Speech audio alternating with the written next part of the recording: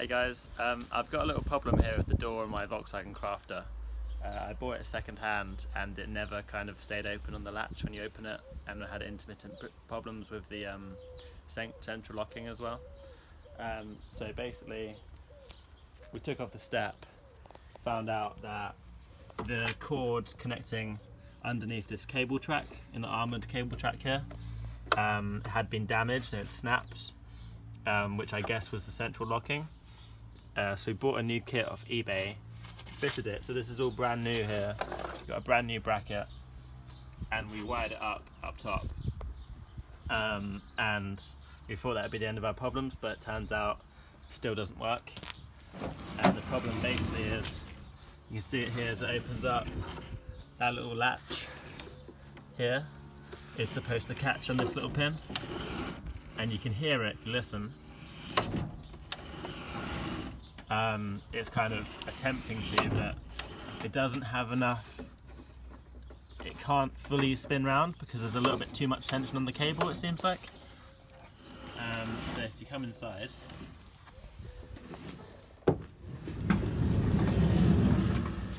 this is where the cables will go into and this is the cable responsible for that latch.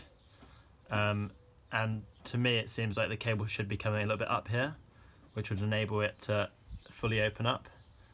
Um, and it seems like this lower cable here is, is perhaps a bit too tight, preventing it from, from sliding up where it should be going.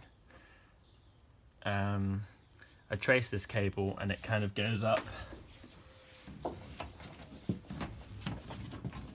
It goes up here somewhere, I'm not sure if it's if it's this switch or something else. Um, so yeah, just wondering if anyone's kind of got any advice on what we can do here because now a bit of a loose end, I've traced all the wires.